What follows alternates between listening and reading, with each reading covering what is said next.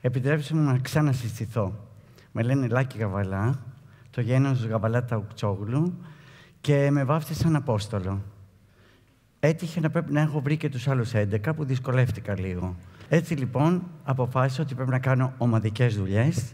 Με αυτή την έννοια πήγα στη σχολή μπαλέτου, ήμουν με πολύ κόσμο μαζί, άρχισα να κάνω ομαδικές ε, εξορμήσεις και κάθε φορά που είχα τη γιορτή μου νόμιζα ότι έχω βρει τους άλλους 11 που γινόντουσαν 22, 44 και πάει λέγοντας. Έτσι λοιπόν ξεκίνησα το όνειρό μου να είναι πολλαπλό. Έπρεπε να κάνω λίγο από αυτούς, λίγο από το δικό μου όνειρο, δηλαδή να κάνω όνειρο για 12. Το όνειρό μου ήταν να ασχοληθώ με την αισθητική και τη μόδα. Πιστεύω ότι καλώς έκανα, γιατί μου απέφεραν επιτυχία και αυτό γιατί μέσα στο σκεπτικό μου ήταν πάντοτε το χειροκρότημα, να είμαι κοντά σε κόσμο, να ντύνω, να με ντύνουν, να δίνω, να με δίνουν και να ξαναντυνόμαστε με την αμφίεση που ο καθένας θέλει για να αισθάνεται όμορφα και έτσι να μπορεί να εκπέμψει το χαρακτήρα του αρχικά. Γιατί το πρωτοαρχικό πράγμα στον άνθρωπο είναι να είναι ντυμένος όταν σηκωθεί από το κρεβάτι και βγει έξω προς τον κόσμο. 17 Ιουνίου του 2012 βρίσκομαι σε έναν χώρο που είναι γκρίζος, είναι θολός, έχει πολλά σίδερα, είναι λίγο βρώμικος, έχει μια σιγή σχεδόν εκοφαντική. Είμαι στο κελί Δέλτα 2 του Κορυδαλού.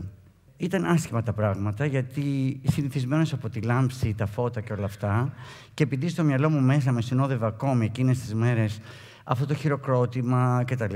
Φυσικά υπήρχε μια βοή γύρω από το όνομά μου, που δεν ήταν όμως το χειροκρότημα κάποιας επιτυχίας, απλά η βοή του ποιος είναι, τι έκανε, τι έδειξε κτλ.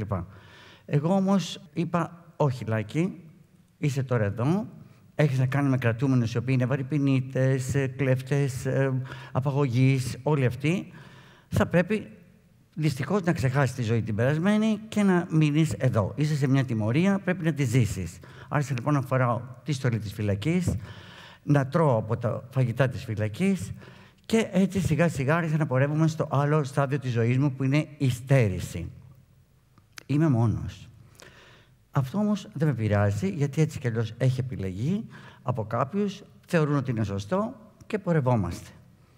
Από εκεί και πέρα όμως, η ζωή θα πρέπει να μου δώσει κάποια δύναμη, να κάνω κάποια πράγματα και έτσι θα πρέπει πραγματικά να συνεχίσω τη ζωή μου. Τι κάνω λοιπόν, βλέπω ότι είναι σαν μια ταινία. Λέω εδώ η σελάκη μου, 3.000 κομπάρσι, από όλες τις πτέρυγες δηλαδή, αρχιφύλακε, πράγματα, κακό, στολές, πάνε έρχονται, λένε σενάρια διάφορα. Και έτσι λοιπόν τους χρησιμοποιώ όλους στο δικό μου σενάριο. Και πάνω που αρχίζω λοιπόν να τρώω λίγο, γιατί έπρεπε να τρως λίγο, δεν μπορείς να φας τα φαγητά της φυλακής, ειλικρινά. Ε, μου λένε οι αρχιφύλακες, κοίταξε να δεις, επειδή και οι άλλοι μπορούν να φάνε ό,τι θέλουν, μπορείς και εσύ να φέρεις δικά σου φαγητά. Λέω τώρα ποιο να βρω, ποιοι να μου φέρουν, ξέρεις, είναι και αυτό το θέμα. Γιατί μετά μπορεί να αρχίσουν να μου στέλνουν νηθιάδε, εκείνο το άλλο, από τις διάφορες επαρχίες, να πρέπει να τρώω πίτε, να τρώω εκείνο το άλλο. Λέω, όχι, όχι, όχι, δεν πειράζει, θα ζήσω την τιμωρία μου. Αυτό όμως δεν μπορεί να κρατήσει πολύ. Άρχισε να μου λείπουν τα αρώματά μου, το τρόπο ζωής μου και υποκύπτω. Έτσι λοιπόν άρχισα να αισθάνομαι λίγο καλύτερα. Κάνω γυμναστικές, κάνω διάφορα πράγματα και τέλος πάντων το θέμα μου πάει αρκετά καλά. Οι φίλοι μου με ρωτάνε και μου λένε ρε παιδί μου τι γίνεται; Πώς με ρωτάνε, Μέσω κάποιων φυλάκων που μου λένε ότι σε θέλουν να μιλήσουν, να έρθουν να σε δουν. Δεν θέλω να δω κανέναν. Θέλω να ζήσω την τιμωρία μου. Τρώω λίγο καλύτερα, αρωματίζομαι λίγο, βάζω και ένα κρατούμενο και μου κάνει ένα ψηλό ντεκαπάζ, γιατί έχω δικαστήριο. Ok, okay, εντάξει.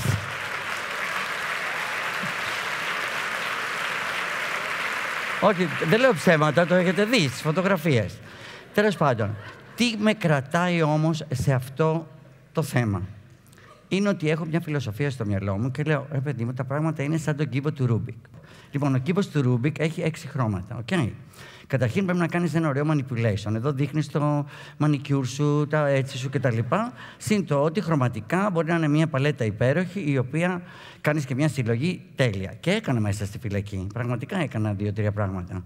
Ο κύβος του Ρούμπικ λοιπόν έχει έξι πλευρές. Η πρώτη πλευρά του είναι το πείσμα.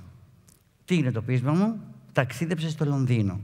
Πάω στα headquarters της Burberry, παρουσιάζομαι, οκτώ άτομα αυτοί γύρω-γύρω, τελικά κλείνω το συμβόλαιο μετά από δύο μέρες. Αυτό είναι από το πείσμα μου. Είναι η μόνη φορά που η εταιρεία Berberis δίνει σε μεταπολιτή την πραγμάτια της. Ποτέ μέχρι τότε δεν είχε δώσει τίποτα. Και ακόμη και σήμερα δεν έχει κάποιο μεταπολιτή στην Ελλάδα, αλλά και πουθενά στον κόσμο. Το δεύτερο είναι η τόλμη, που είναι το κόκκινο χρώμα.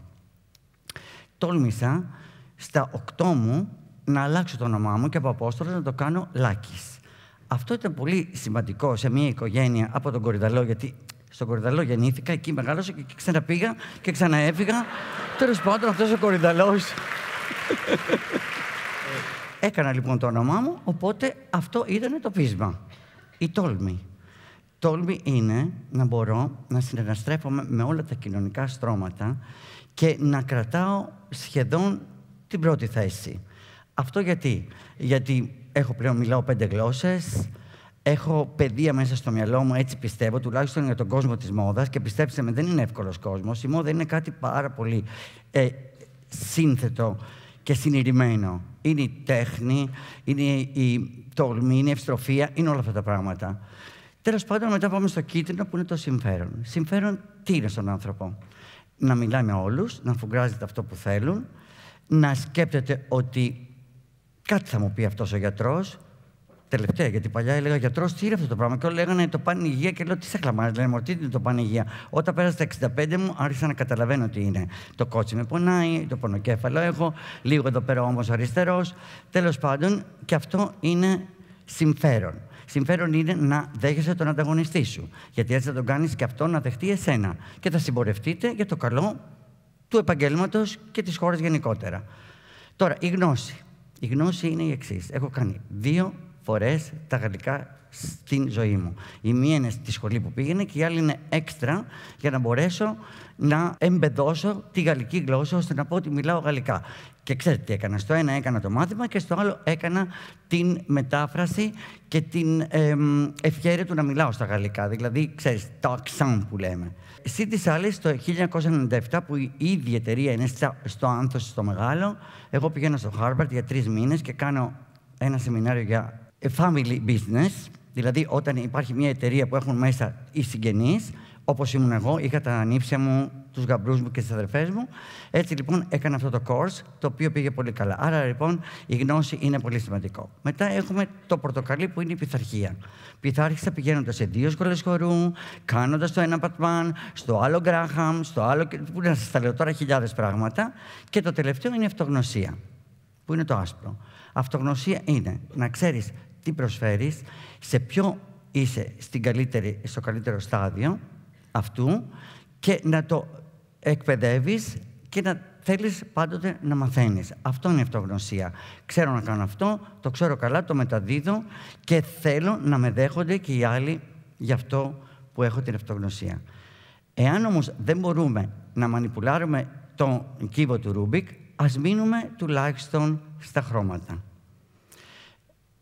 Τώρα, η ζωή μου ήταν αυτή με λίγα λόγια. Μία ήταν η χλιδή, μία ήταν η επιτυχία, αυτή η άνοδος, με σκοινιά άλλες φορές, με ψιλοτάκουνα άλλες, με φλάτ παπούτσια άλλες, τα έχω δοκιμάσει όλα και μου πάνε, πιστέψτε με.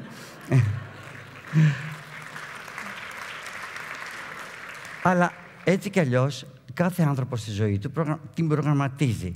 Ακόμη και αυτός που δεν το ξέρει. Δηλαδή, λέει κάποιος: Α, εγώ είμαι ανέμελος, δεν με ενδιαφέρει τίποτα. Μόνο που το λέει εκείνη τη στιγμή, πάει να πει ότι όντως τη σκέπτεται τη ζωή του και δίνει τίτλο «Είμαι ανέμελος». OK. Okay. Εγώ στη δική μου ζωή είπα ότι θέλω να ζω το χειροκρότημα, να ζω την επιτυχία και με τα χρόνια να ζήσω τη δόξα. Δοξάστηκα ακόμη και στο μικρό μου κελί. Δοξάστηκα όταν έκανα τα μεγάλα meeting με μεγάλους οίκους. Δοξάζομαι και σήμερα που ένας τέτοιος οργανισμός, όπως είναι το TEDx, με έχει καλέσει για να είμαι ομιλητής και είμαι πολύ proud για αυτό το πράγμα. Και χαίρομαι που είμαι μπροστά σε όλους εσάς που θεωρώ ότι με προσοχή με βλέπετε γιατί δεν άκουσα κανένα θόρυβο, ούτε καν χειροκρότημα. Ε, όχι, όχι, δεν το λέω γι' αυτό. Έτσι κι αλλιώς έχω το σπίδες. Λοιπόν, θέλω να σας συμβουλέψω κάτι, ότι ο κάθε άνθρωπος πρέπει στη ζωή του να στοχεύει στην καλυτέρευση τη δική του πρώτα απ' όλα και εκεί είναι το κομμάτι εγωισμός και μετά στο καλύτερο τον γύρο του. Γιατί χωρίς γύρο δεν γίνεται τίποτα. Δες τις μπυρίμπες. Τσακώνονται οι άνθρωποι, αλλά είναι μαζί, είναι ομαδικοί. Δες τις ανθρωπαιδιές, είναι όλοι μαζί. Κερδίζουν ένα έπαθλο. Πιστέψτε με ότι είναι πολύ πιο ωραίο ένα έπαθλο σε φάσμα ε, ομαδικό παρά όταν είσαι μόνος σου.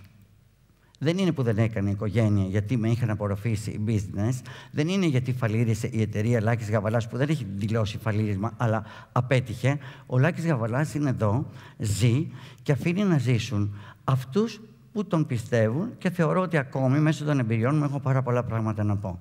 Θέλω βέβαια απ' την άλλη να ταλαιπωρώ και αυτούς που με αμφισβητούν. Γιατί τα έργα μου δείξανε ότι είμαι ένας άνθρωπος που αγαπάει τη χώρα του, αγαπάει το lifestyle, θέλει να είναι όλοι καλοφτιαγμένοι, καλοντημένοι και έτσι παρότι ότι έχω ή δεν έχω φίλους, έχω δεν έχω συνεργάτες, έχω δεν έχω βήμα να λέω κάποια πράγματα, εγώ ζω, δεν είμαι ιδιαίτερος άνθρωπος, έχω όμως ιδιαιτερότητες. Αυτές τις υποστηρίζω, τις εκπαιδεύω και θέλω μια μέρα να τις κάνω να με ικανοποιούν τόσο, ώστε το χαμόγελό μου να είναι μεγαλύτερο από την πίκρα μου. Σας ευχαριστώ.